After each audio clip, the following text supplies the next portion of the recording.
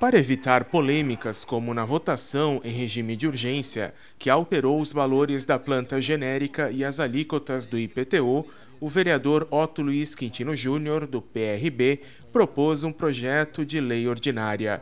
O PLO número 208 de 2017 dispõe sobre a obrigatoriedade de audiência pública para o reajuste da base de cálculo e alíquota dos tributos municipais. O texto tramita nas comissões do Legislativo. Ele também é para a segurança tá, do cidadão, do Legislativo e do Executivo, para que o que ocorreu tá, na, na, naquela audiência, na, no, no, no, pedido de urgência do, pre, do prefeito Vonei Mastoni, do Executivo, não ocorra mais né?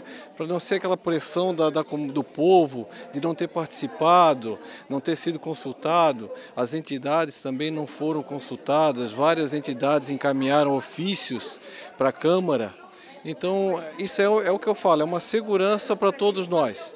Esse, esse é o meu, o meu objetivo com este projeto que eu apresentei. Ele agora está tá em análise, né? Então vamos, vamos aguardar a análise do, da casa, da, da comissão, e eu espero que ele passe e vai ser, eu acho, uma, uma grande vitória ao Legislativo. De acordo com o texto, o Poder Executivo fica obrigado, antes de determinar o reajuste de base de cálculo e alíquota dos tributos municipais, a realizar audiência pública sobre o assunto seria um momento para explicar possíveis mudanças e promover o debate com a sociedade. Não só aumento de tributo, é, eu acho que qualquer assunto polêmico deveria ser debatido com a sociedade de forma geral, tanto com os representantes, né, como a OAB e tudo mais, mas com a população mesmo, né?